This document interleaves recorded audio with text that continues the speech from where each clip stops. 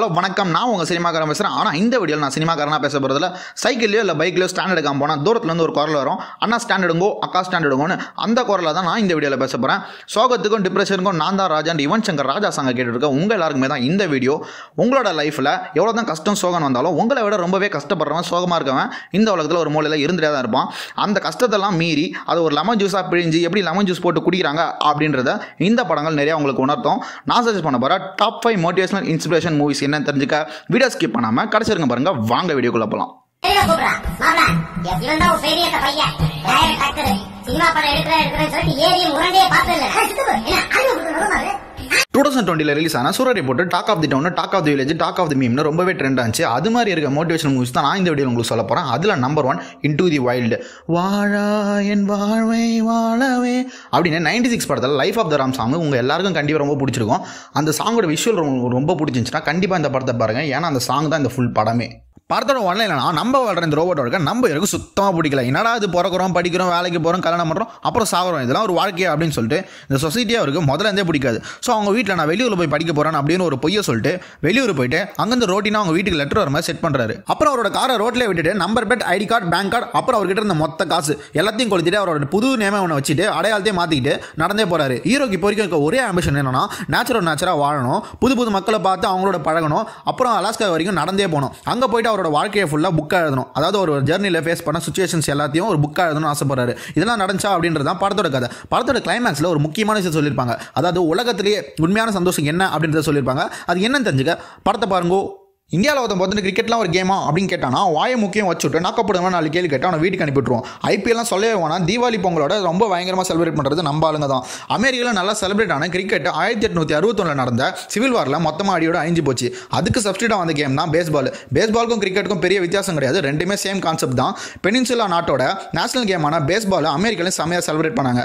அதில் நடந்த top baseball டீமில் எப்படி இந்தியாவை சேர்ந்த தினேஷ் அண்ட் பிங்கு சிங் செலக்ட் ஆனாங்க அப்படின்ற ட்ரூ ஸ்டோரி சொல்கிறது தான் மில்லியன் டாலர் ஹாம் இந்த மில்லியன் டாலர் ஆம் படத்தோட கிளைமேக்ஸில் ஐ பிச்சில் யாரோ செம்மையாக கத்திட்டு இருக்காங்க ஆனால் கேட்க நல்லா இருக்கு. சரி யாரா அதுன்னு பார்த்தா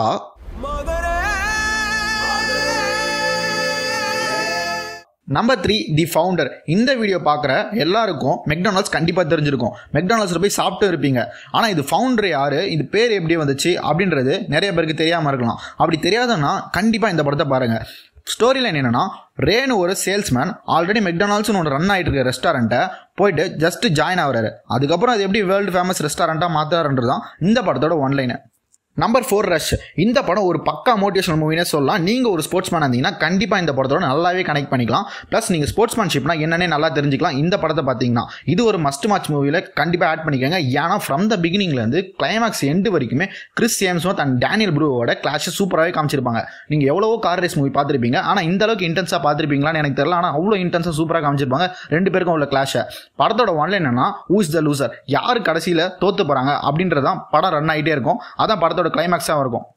ஜேம்ஸ் அண்ட் நிக்கி லாடோட உண்மையான ஸ்டோரி தான் இந்த படம் ஃபுல்லாக எடுத்திருப்பாங்க. அவங்க ரெண்டு பேருக்குள்ள இவ்வளோ பெரிய கிளாஸ் இருந்துச்சு அப்படின்ற மாதிரி உங்கள் படம் பார்க்கும்போதே தோணும். சேட்லி இப்போ அவங்க ரெண்டு பேரும் உயிரோட இல்லை. Number five the pursuit of happiness உங்கள் எல்லாருக்கும் ரொம்பவே ஃபெமிலியரான படம் தான் the pursuit of happiness motivational movie நான் தமிழில் வச்சுட்டு இந்த படத்தை பற்றி நான் பேசலன்னா இந்த வீடியோவே வருத்து இல்லை. Will Smith and Jaden Smith ரொம்பவே போட்டி போட்டு சூப்பராக நினச்சிருப்பாங்க இந்த படத்தில். நீங்கள் யாராச்சும் வேலை இல்லாமல் வெட்டியாக இருந்தீங்கன்னா இந்த படத்தை பார்த்தீங்கன்னா நாளைக்கே ஒரு வேலையை வாங்கணும்னு உங்களுக்கு தோணும். சப்போஸ் இதை பார்த்துட்டு நீங்கள் கில்ட்டாக ஃபீல் பண்ணீங்கன்னா அதுக்கு நாங்கள் பொறுப்பேற்ற முடியாது. படத்தோட ஒன்லைன் என்னன்னா வேலை இல்லாமல் வீடு இல்லாமல் காசு இல்லாமல் தன்னோட பயணம் வச்சு எப்படி இவர் சர்வைவல் பண்ணுறாரு ப்ளஸ் இவருக்கு வேலை கிடைச்சா இல்லையா அப்படின்றது தான் படத்தோட கதை. கிறிஸ் கார்டனரோட ஃபுல் லைஃப் ஸ்டோரி பேஸ் பண்ணி தான் இந்த படம் ஃபுல்லாக எடுத்திருப்பாங்க. இந்த படத்தோட டைட்டில் ஹாப்பினஸ் ஸ்பெல்லிங் மட்டும் தப்பாக இருக்கும். ஏன்னா செவன்டீன் செவன்டி சிக்ஸில் ரிலீஸ் ஆன ஒரு எஸ்ஏல the whites and blacks are created ஈக்குவல்ன்ற எஸ்ஏலேருந்து ஒரு ரெஃபரன்ஸாக வைக்கணும்ட்டு வச்சிருப்பாங்க. வேணுன்ட்டே மிஸ்பெல் பண்ணியிருப்பாங்க நான் சொன்ன டாப் ஃபைவ் மோட்டிவேஷனல் மூவிஸ் எல்லாமே ரியல் லைஃப் ரியல் லைஃப்க்கு எப்போ சப்போர்ட் ஆகும் அப்படிங்க நினைக்கலாம். ஆனால் நான் சொன்ன எல்லா மூவியுமே வந்து ட்ரூ ஸ்டோரி தான். எல்லாமே கீழே இருந்து மேலே வந்தவங்க தான். So trust on you self love is the best love நான் சஜஸ்ட் பண்ண அஞ்சு படத்தோட லிங்கோ டிஸ்கிரிப்ஷனில் இருக்குது ப்ளஸ் நாங்கள் பண்ண ஷார்ட் லிமோட லிங்கோ டிஸ்கிரிப்ஷனில் இருக்குது டைம் இருந்தால் பாருங்கோ. நீ ரெக்கமெண்ட் பண்ண மாதிரி நிறைய மோட்டிவேஷனல் மூவிஸ் எனக்கும் தெரியும்டா அப்படின்னு நினைக்கிறவங்க கமெண்ட் பண்ணுங்க. இப்போ தான் எங்கள் சேனலுக்கு நீங்கள் புதுசாக வரீங்கன்னா சப்ஸ்கிரைப் பண்ணுங்க பெல் ஐக்கனை ப்ரெஸ் பண்ணுங்க. இந்த வீடியோ உங்களுக்கு பிடிச்சிருந்துச்சுன்னா லைக் பண்ணுங்க ஷேர் பண்ணுங்க. இதே மாதிரி வித்தியாசமான மூவிஸோட அடுத்த வீடியோ சந்திக்கிறேன். அதுவரை உங்களோட விடைபெறுவது நான் உங்கள் சினிமா கரன் டாடா பாபாய்